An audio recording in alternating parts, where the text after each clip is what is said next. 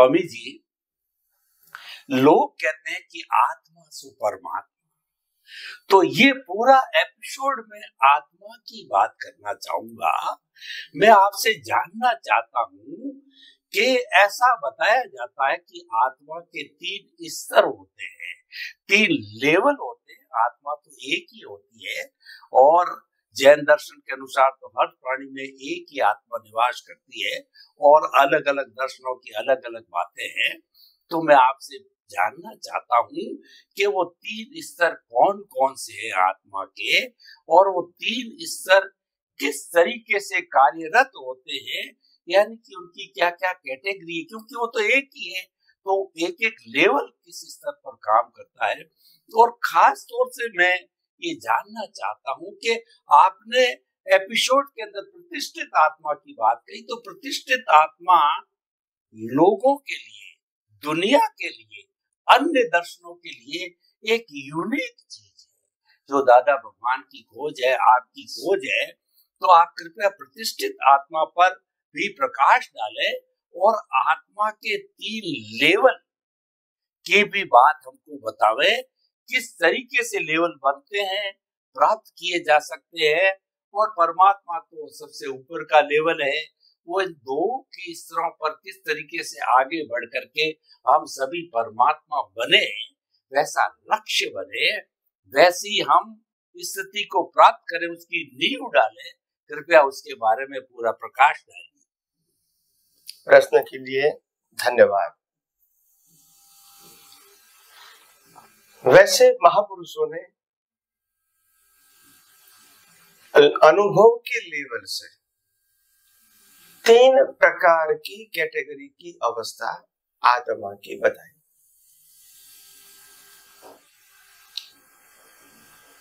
और तीन कैटेगरी की अवस्था जो है, वो विज्ञान है, मगर अज्ञान से उनकी प्रोसेस होती है।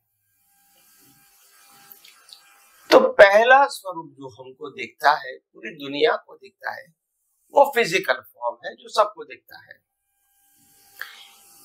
आध्यात्मिक परिभाषा में शरीर को मैकेनिकल आत्मा कहते हैं, क्योंकि वो प्रोग्राम से चलता है। इनके पास कोई भी फ्रीडम नहीं है।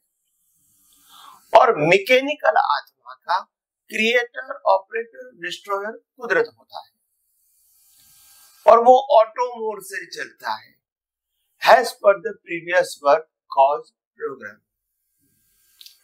इसका, इसको मैनेज करते हैं कुदरत।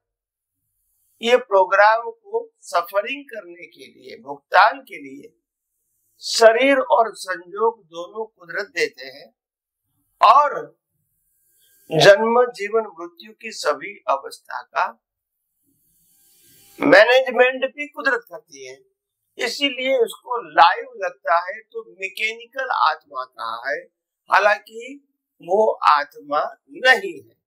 मगर आत्मा की हाजिरी से ये मैकेनिकल प्रोसेस होती है, कुदरत की हेल्प से।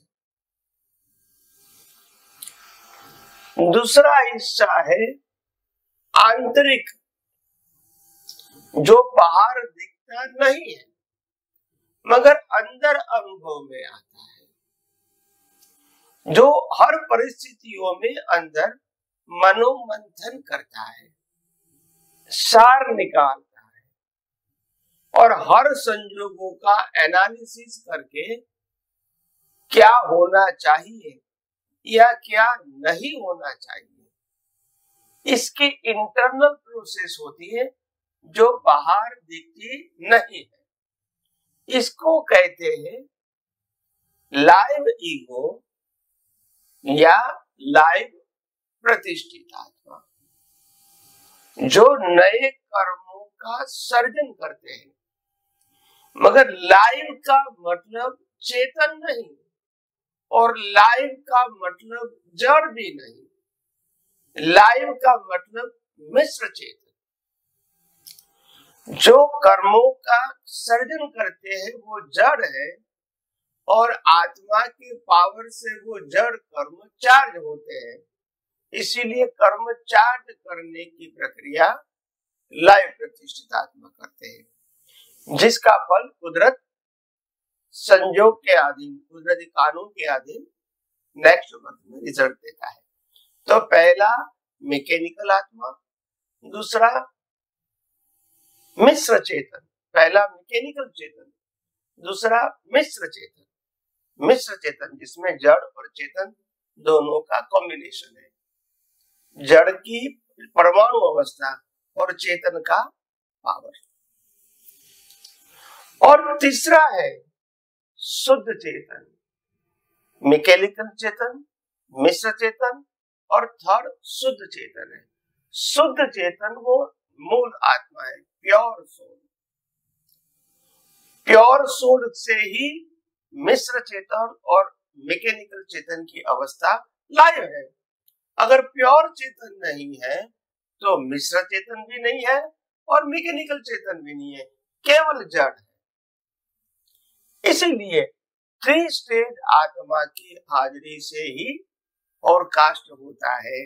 आत्मा नहीं है तो शरीर को मैकेनिकल चेतन नहीं कहते हैं, जड़ ही कहते हैं, और मिश्र चेतन तो होता ही नहीं है, क्योंकि मुर्दे में पुरुषार्थ नहीं है तो उनका रोल भी नहीं है। तो ये तीन अवस्था है, शुद्ध चेतन, मिश्र चेतन और मैकेनिकल चेतन। ये तीनों का कॉम्बिनेशन हर इंसान में होता है। मगर ज़्यादातर लोग दो ही अवस्थाओं को जानते या मानते हैं। अनुभव तीनों को करते हैं। मानते दो को ही है। शरीर को और आत्मा दोनों को मानते हैं। मिश्र चेतन के बारे में ज़्यादा जानकारी लोगों के पास नहीं है। क्योंकि हमारे समाज में लोगों के माध्यम से एजुकेशन के माध्यम से धर्मगुरु के माध्यम से यही बताया गया है कि बाहर की अवस्था में परिणाम भी है और बाहर की क्रियाओं में पुरुषार्थ भी है। इसीलिए इंटरनल लोग गए नहीं, क्योंकि दरवाज़ा ही बंद कर दिया। पुरुषार्थ भी बाहर है और परिणाम भी बाहर है और अंदर तो आत्मा है तो फिर अंदर क्या जाने का? तो यह सब्जेक्ट धीरे धीरे आवृत हो गया। मगर वास्तव में तीन अवस्था है, जो आध्यात्म विज्ञान के माध्यम से खुली होती है। ये जो लाइव ईगो है, वो अंदर की प्रक्रिया करता है, जिसके आधार से नए कर्म बांधने की प्रक्रिया होती है। और इसका बहुत इंपॉर्टेंट रोल है। और अध्यात्म विज्ञान में उसकी बहुत वैल्यू है, क्योंकि जन्म मरण प्रोसेस भी उनके माध्यम से होती है और जन्म मरण की मुक्ति भी इनके पुरुषार्थ से होती है। तो प्रतिष्ठित आत्मा या लाइव ईगो की बहुत अहमियत आध्यात्म विज्ञान में बताई गई है।